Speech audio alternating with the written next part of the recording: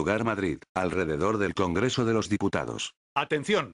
Esta puede ser la próxima y definitiva movilización ciudadana a partir de la cual se inicie el proceso de cambio en el que se deje atrás el régimen vigente y se sienten las bases para una verdadera democracia. La acción es clara y contundente. El próximo 25 de septiembre se llegará a Madrid de forma masiva desde todas partes de España, con el fin de rodear el Congreso de los Diputados y permanecer allí de forma indefinida, hasta conseguir la disolución de las Cortes y la apertura de un proceso constituyente para la redacción de una nueva constitución, esta vez sí, la de un Estado democrático. Toda la ciudadanía está invitada a participar, ya sea a modo individual o a través de asambleas, plataformas ciudadanas, etc. El cambio es necesario y va a ser liderado por el pueblo. Manifiesto. Nosotros, ciudadanos comunes hartos de sufrir las consecuencias de una crisis que no hemos creado, nos unimos para redactar este manifiesto e invitamos a todos los ciudadanos y ciudadanas del Estado a unirse a las reivindicaciones que reclamamos en él.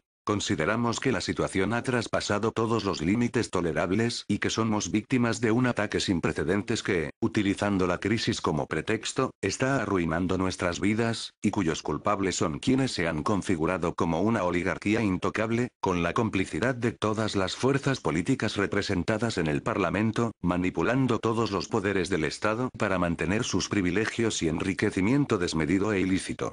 Ya no hay manera de ocultar que vivimos un gigantesco fraude social, con gobiernos que sistemáticamente nos mienten, haciendo exactamente lo contrario a sus compromisos electorales, y que no hay justicia alguna en los tribunales para los banqueros, políticos y empresarios culpables de la situación.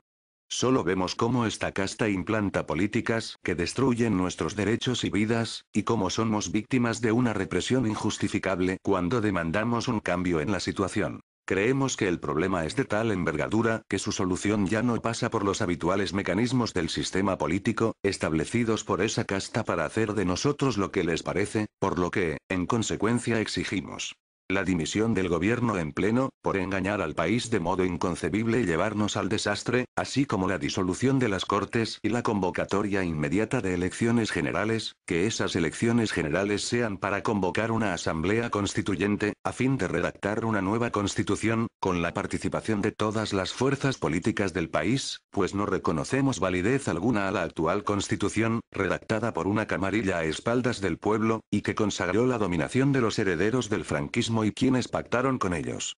Ha de ser el pueblo quien determine el modelo de Estado en el que quiere vivir, cosa que no sucede con el actual, que nos fue dado por esa camarilla y que responde exclusivamente a sus intereses.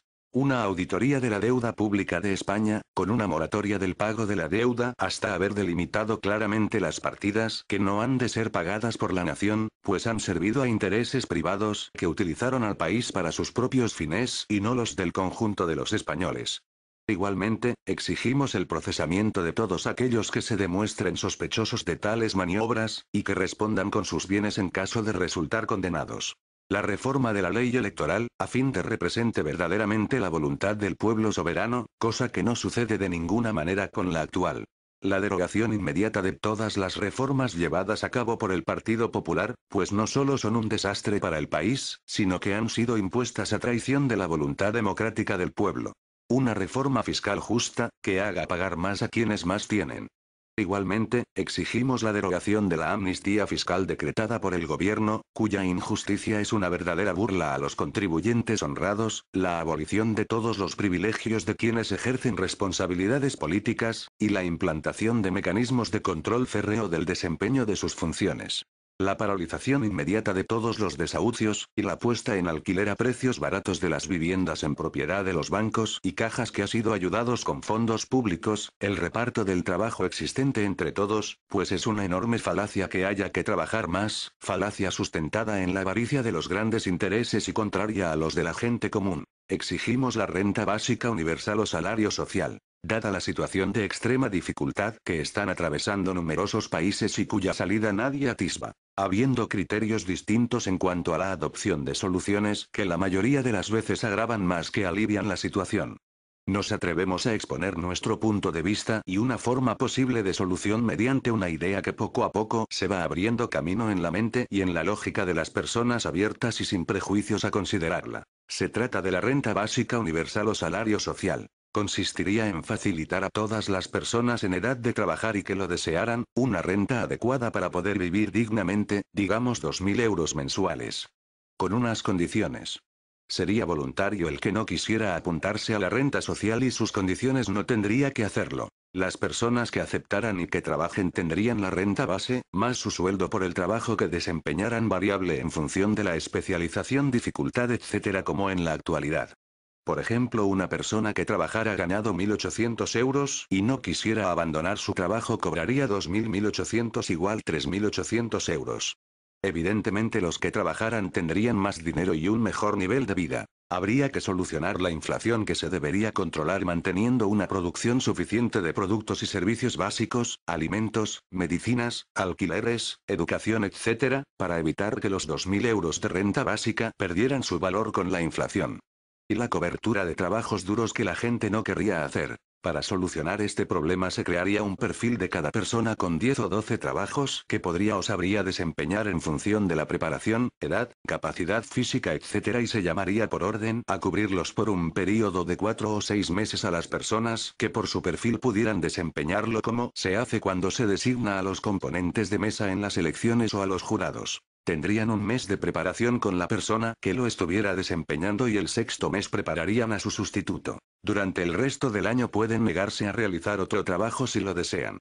Siempre hablamos de los apuntados voluntariamente al programa de renta básica. Con esta idea conseguiríamos que los que trabajan no echaran nada en cara a los que no trabajan, repartir el trabajo duro, evitar el paro, que la gente pudiera vivir y cubrir sus necesidades dignamente y sobraría algo para tener siempre activado el consumo que se haría sostenible fabricando productos de mucha más duración y los necesarios, contribuyendo a la sostenibilidad de la demanda y el medio ambiente. El modelo está pensado para un país como España, Grecia, Italia, Portugal, Irlanda, etc., con mucha más demanda de trabajo, que trabajo por hacer, al menos eso es lo que indica el paro orientando los trabajos a la investigación y la educación al cambio de hábitos energéticos y de convivencia y a la implantación progresiva del nuevo modelo. Esta idea habría que ir adaptándola a cada país del mundo en función de su renta per cápita, nivel de servicios públicos, etc. Hay que aportar crítica constructiva para mejorar el modelo y poder vivir todos mejor evitando guerras y sufrimientos como los provocados por los modelos en vigor y que en la actualidad no dan soluciones satisfactorias a los problemas de las personas. Por todo lo expuesto convocamos a la ciudadanía el día 25 de septiembre de 2012 a manifestarse de forma indefinida en las puertas del Congreso hasta conseguir la dimisión del gobierno y la apertura de un proceso constituyente, haciendo de este, el llamamiento de unión de todas las luchas por una sociedad más justa. Somos la inmensa mayoría, somos el pueblo, tenemos razón, y no vamos a dejaros pasar. Se irá informando de todos los pormenores de la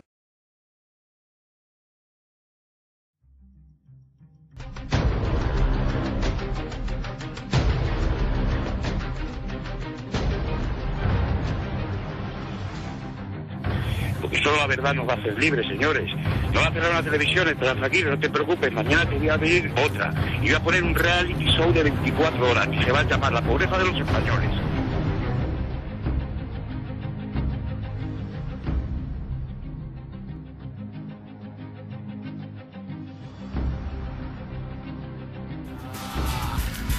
Perdidos en un mar de dudas, ya nadie confía en ti, únete a mí si te hacen sufrir, el mundo ya no gira. Andamos perdidos en un mar de dudas, ya nadie confía. Ten en ti, únete a mí, únete a mí. El lado oscuro, duda de nuestro futuro, todo el suyo, el lado oscuro.